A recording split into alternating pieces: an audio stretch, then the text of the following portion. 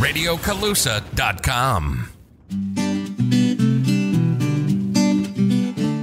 Welcome to the September episode of A Garden Runs Through It, a podcast of the UC Master Gardener program of Colusa County, produced by RadioColusa.com. I'm Gerry Hernandez, your host and coordinator of the Colusa County program.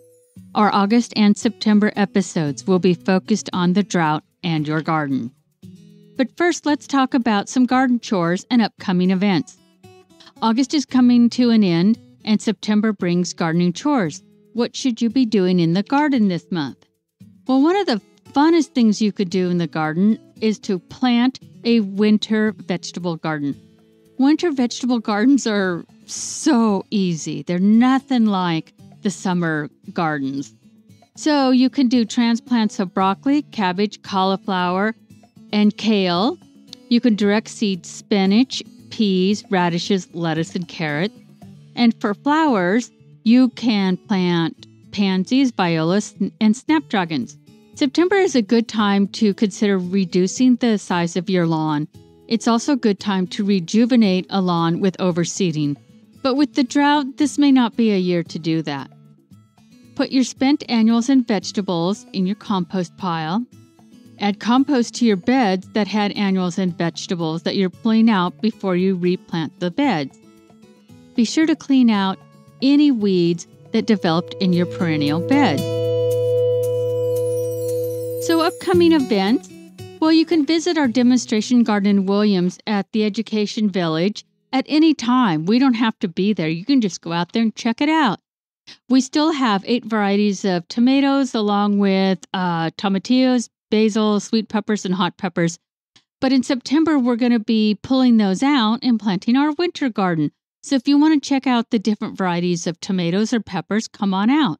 We're at the Williams Flea Market on the first Friday of the month in September, and it'll be on the 3rd.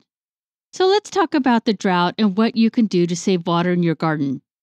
Did you know that if residential lawn was an agricultural crop, it would be the number one crop in America? Americans love their front yard. When we think about it, what service does the front lawn provide? Now is the time to think about replacing your front lawn with water wise plants or a ground cover. On today's episode, I'm joined with Master Gardeners Pam, Cynthia, John, Diane, and myself.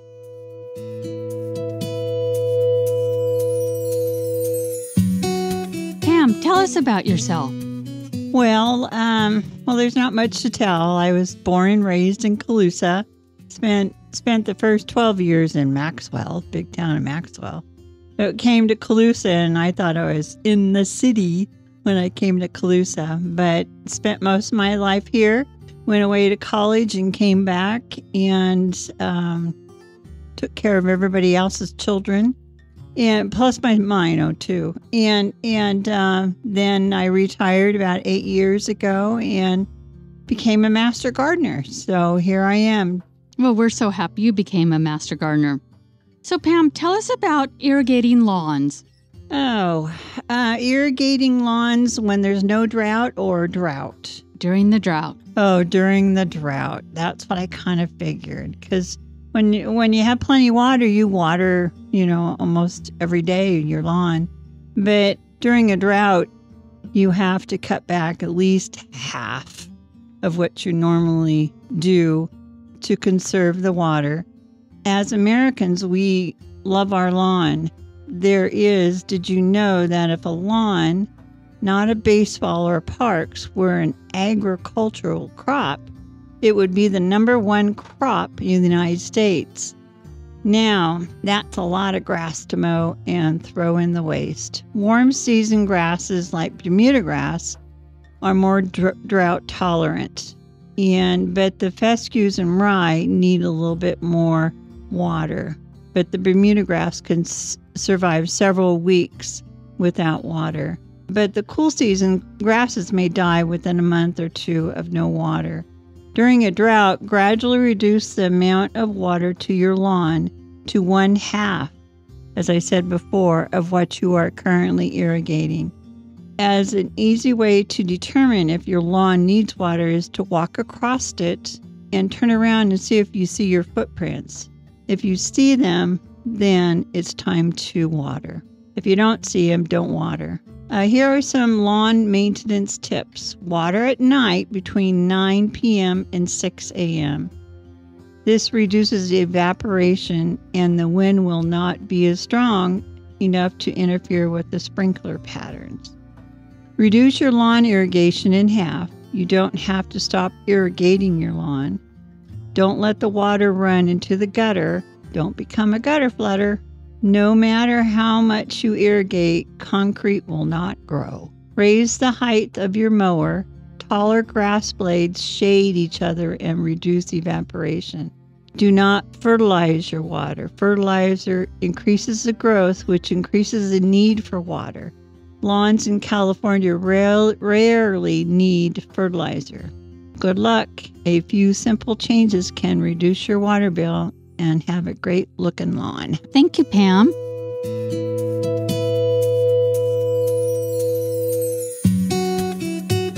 This is Gerry, and let me tell you about myself. I um, have lived in Colusa County over 30 years now, but I'm not a native. So, um, uh, you know, born in the Bay Area, grew up in Woodland, so nearby. I went to college, got a degree in agriculture, eventually ended up being with the Cooperative Extension and working in agriculture and the Master Gardener Coordinator. So today I'm going to talk about drip irrigation. I want to tell you, I love drip irrigation. My perennial beds have never looked so good and it's so much easier than going out and hand watering. So, if you want healthy, fast growing landscape plantings, use drip irrigation. If you want a carefree, beautiful, small area, use drip irrigation. You want high yield, weed resistant vegetable gardens, use drip irrigation. Drip irrigation is less work, less water, and better results. Can you imagine using less money and getting better results? So, what is drip irrigation? It's a slow, even watering directly to the root zone. The slow, precise delivery of water directly to the root zone of your plants keeps the root zone moist but never saturated. The plants retain their proper air and water balance and avoid the stress and shock of the drench and dry cycle associated with conventional watering methods. This results in optimum growth and healthier plants. And it's science. I love science. The proper air and water balance. That's all science. So, some advantages and benefits to drip irrigation you save water, you reduce plant stress, and when your vegetable gardens, that's very important. Reduce weed growth. Who does not want to have fewer weeds? Oh my gosh. It's the, you know, everyone's problem is weeds. You prevent runoff and erosion. You get water wise plants compatibility. You save money. Who doesn't want to save money? You save time. You're not out there hand watering all the time. You save energy. It's versatile and durable. You can use it on hillsides and flat terrain. A hose can be buried or left on top of the ground year round. And the automatic timer options. Love that. Set it walk away, just check every once in a while to see if it's still working. So let's talk about actual drip irrigation. So you're going to have a water source, which in my case, I use my faucet. Some people have underground systems, but it's still the basic same thing. You'll have an automatic timer, which attaches directly to your water source.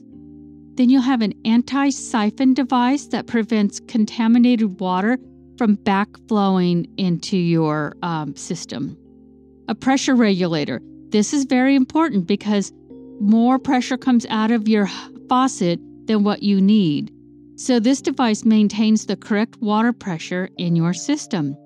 And then you'll need a swivel adapter, which kind of just makes everything go in the correct orders. You'll have your main line, and there's fittings, and then you'll have branch lines, an enclosure, and then you have all of the drippers. There are many different kind of drippers. There's misters and bubblers, sprinklers, inline drip, mini inline drip. There are so many to choose from. Individual drippers, flag drippers, uh, it's incredible. So when you decide which one you want to use, you go into your store, preferably a local small store where somebody knows what they're talking about, and you ask, okay, I have, I'm planting tomatoes. Which dripper should I use? And they'll be able to help you. And there's a lot of information online, and they have a lot of information printed out too. So, drip irrigation, it's made easy and it's the way to go. So, if you go to our Facebook page, we have a drip irrigation video there. It's from start to finish, starting with the timer and going all the way into the drippers and how you connect all of your um, hoses together, and then how you end it. So, go there at UCCE Master Gardeners of Colusa County.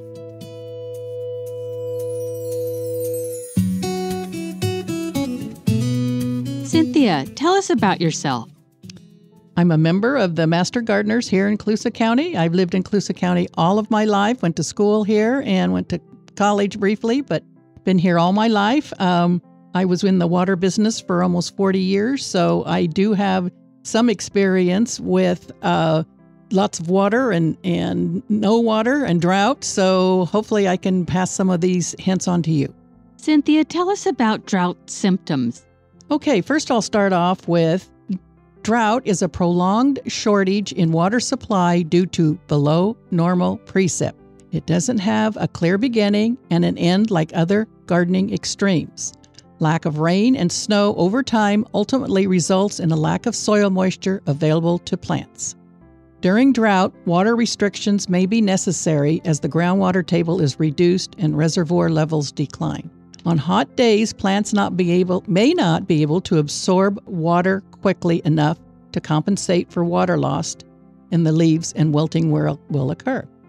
In this case, the signs of drought are temporary and plants should recover overnight. If they are still wilted in the morning, then they could be a, that could be a sign of distress from the drought. As I ride around town lately and beyond, I have noticed many signs of the drought. On a recent trip to Fort Bragg, it was quite obvious of the stress on the oaks and the redwoods. There were yellow or dead branches in the redwood trees and lots of shedding of needles.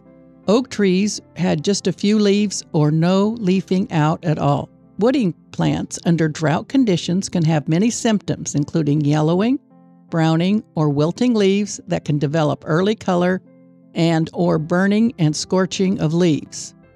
Last week, I saw a Bradford pear that had changed color and was dropping leaves already. Plants may drop some or all leaves and appear dead. Some leaves lose luster and become grayish or bluish. Tips of branches become dry and brown. Other symptoms may be wilting of leaves that do not recover overnight.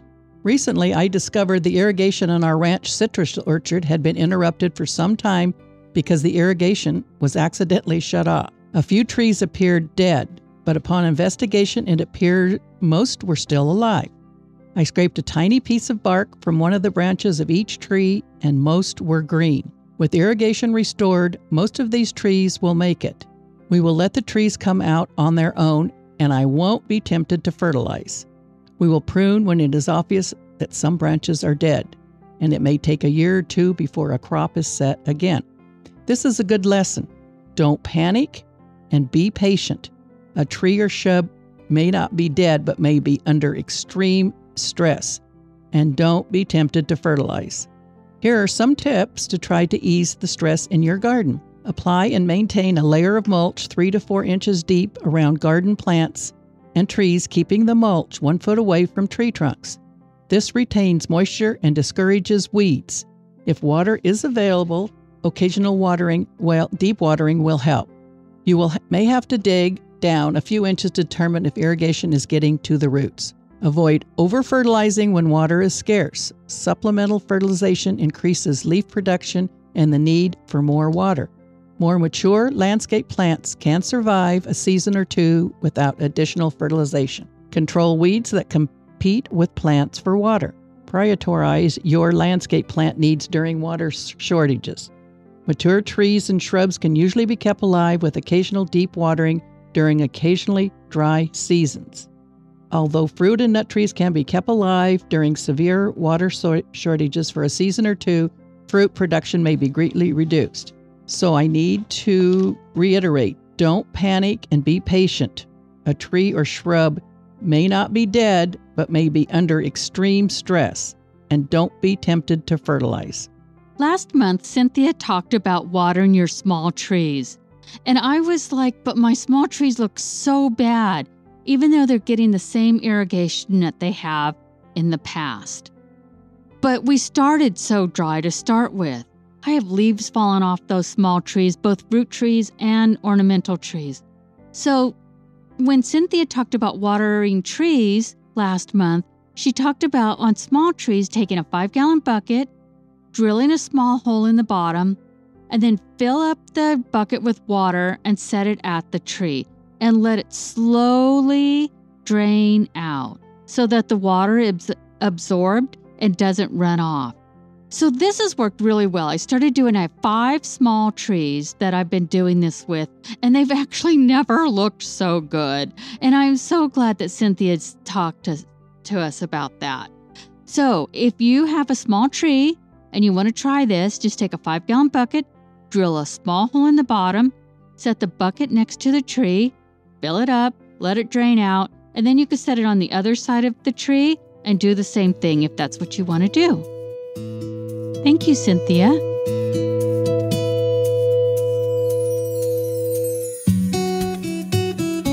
John and Diane, tell us about yourself. Well, we've been gardening in Colusa for over 50 years now, and uh, it's been an interesting journey over those years. We've learned a great deal. Uh, we became master gardeners in 2009 and have continued learning on much many things through that through that program. And we're both retired uh, and educators, and have uh, enjoyed our retirement a lot, being able to enjoy our garden and, tra- and travel mightily. And I am Diane Vafis, and John has pretty well covered it. He was a high school teacher, and I was a teacher at the middle school, just to add a little bit. And we have done a lot more gardening since we retired more than 20 years ago and have really done more to experiment with plants, do further planting in our own landscape, and have learned a lot along the way, sometimes the hard way. We have had our share of failures, but some successes and learning as well. Well, thank you. If you go to our Facebook page, you will see um, a video of John and Diane's garden, and it's wonderful. Thank you. So, John and Diane, tell us about water wise plants. Well, I'm going to start by saying, as most everyone knows, California and the West have been experiencing more and more extreme drought years. Our reservoirs are at record lows and our groundwater is being depleted far faster than it can be replaced. Wells are having to be sunk deeper. And so we are seeing an urgent need to deal with increased drought and lack of water. We need to urgently address water conservation. So, thoughtful gardeners and landscapers and homeowners are looking at drought tolerant, otherwise known as water wise plants, as one approach to dealing with water conservation. And of course, there are many other approaches, but this is one.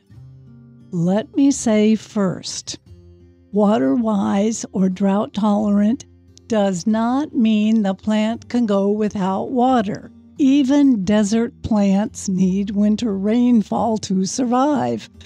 So, this means these are plants that have less need for water than many others and are able to go in, at increased intervals between watering or irrigation. Another caveat please remember that you cannot put a drought tolerant plant in the ground and expect it to immediately go 14 days without water. Plants need to be established before they can meet these criteria. And so you need to put your plant in the ground and give it water every day for a couple of days and then taper off as it adjusts and will eventually go to a longer stretch of time, a longer interval between waterings. These drought tolerant plants are not all exactly the same either, so you need to look carefully at the tag in the pot that comes from the nursery or the garden center, or look online, even in a garden book, to find out a little more detail about the plant that you have chosen. With that, I will also say there's a great variety in these water wise, drought tolerant plants, and John is going to go ahead and talk about those. I do want to add another thing to think about before you start planting. You're not going to put a water wise, drought tolerant plant in the middle of other plants that need a lot of water. It's going to be a wasted effort. You may have a new house with entirely new planting areas, and this is a great opportunity to do all water wise plantings. Or you may, in an established yard, garden, or landscape, have a bed that you want to change out and you can change it to drought tolerant plants and have the appropriate irrigation for it. So now let me again turn to John to talk more about getting those drought tolerant plants and the variety among them. And one of the first questions we have to ask is how on earth do you tell if a plant is drought tolerant or not? You can start by looking at the zone. We, we live in a Mediterranean climate, which automatically has dry summers and wet winters. So something that needs a lot of water is not going to thrive very easily in our natural in natural environment. So the USDA has created zones by climate uh, around the country, and you'll find those on the tags that Diane mentioned.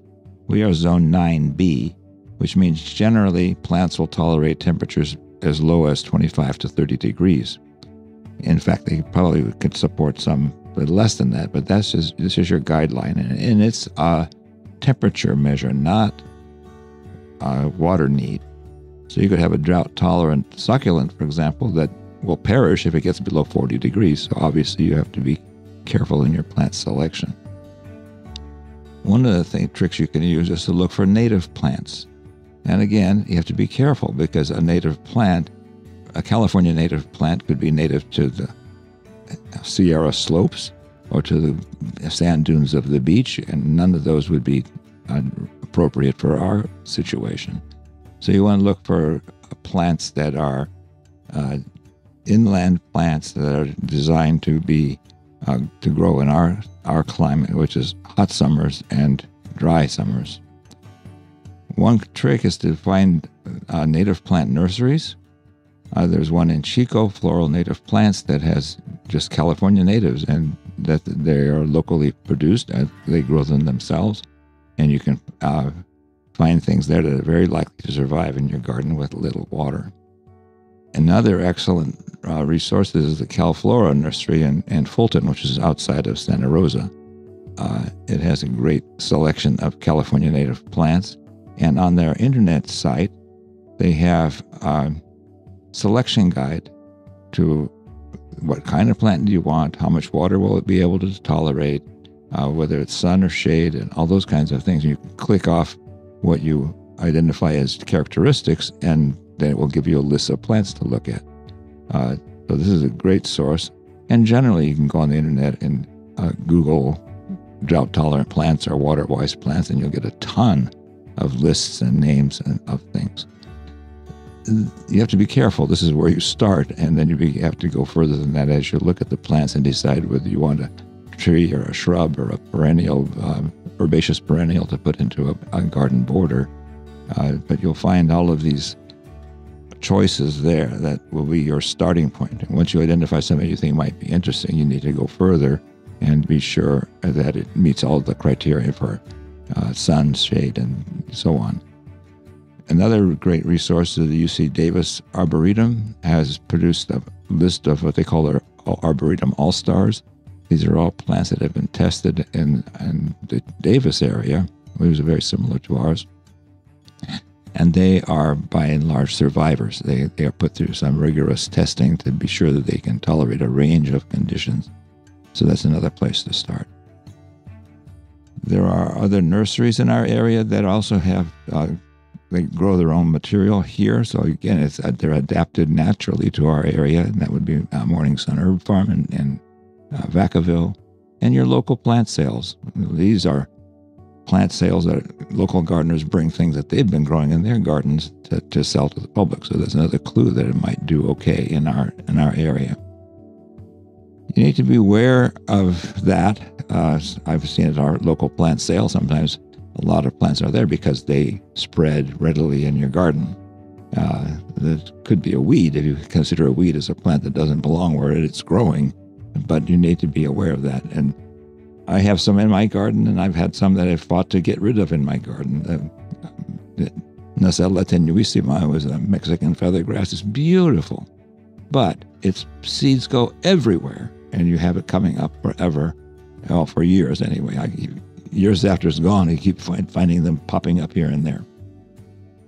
Another one is the uh, Mexican evening primrose, a beautiful pink flower that spreads by underground rhizomes, and runners, and it will come up everywhere. It's aggressive and not a, very friendly to others in your garden. So it's hard to get rid of it as well because you have to get every little piece of tissue out of the ground.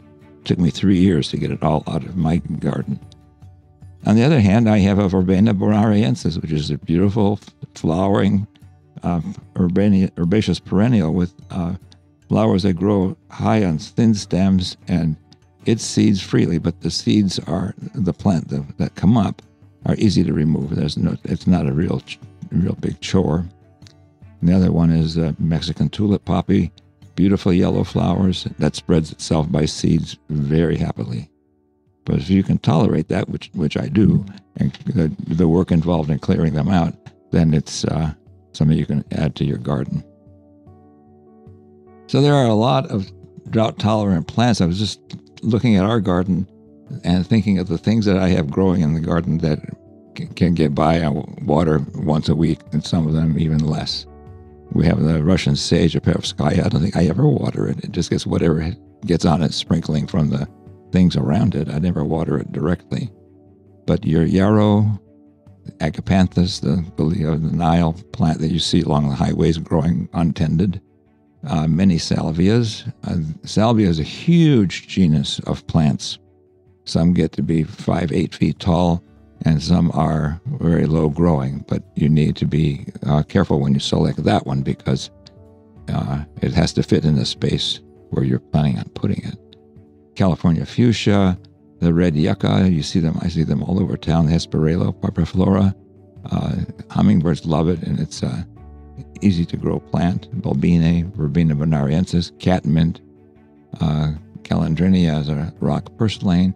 These are all plants that I have in my garden that uh, uh do nicely and require very little water. Little water.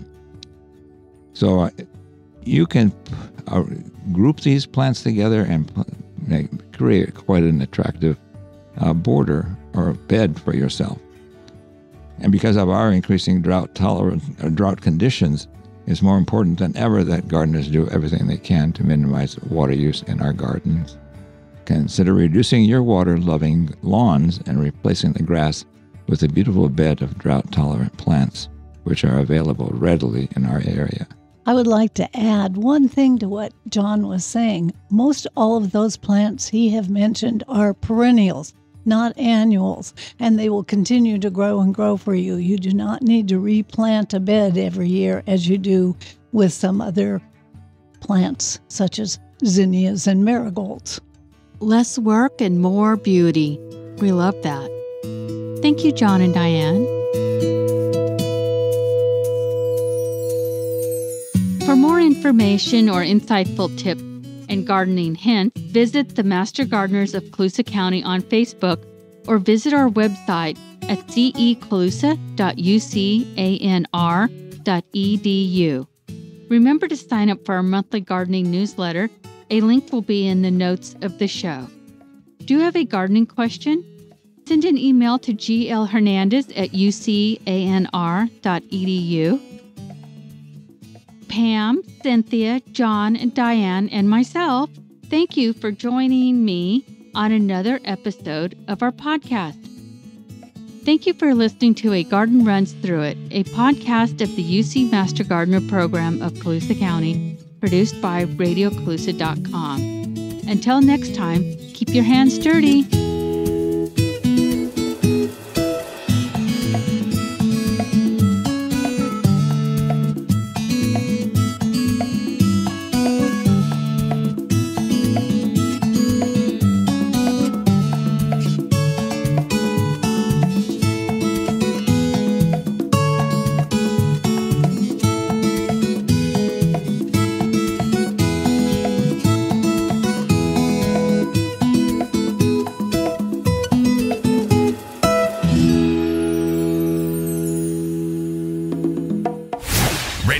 RadioColusa.com.